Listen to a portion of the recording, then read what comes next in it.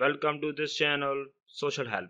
If you didn't subscribe this channel so far, click on subscribe button and bell icon to get notification of all videos. Thank you. Dear viewers, if you are looking how to change a username in Messenger, then you are in the right place. Let's begin. Open the Messenger. This is the home interface. Tap profile picture in the right top corner. This is the profile interface and you can see there is the option username. Tap username tap edit username. Now here you can type your username for your messenger. When you write your username then you tap on this text sign. So friend this is how you can change a username in messenger. Dear viewers i hope you will be found this video helpful. Click on subscribe button and like this video. Don't forget to share this video with your friends. It may help them.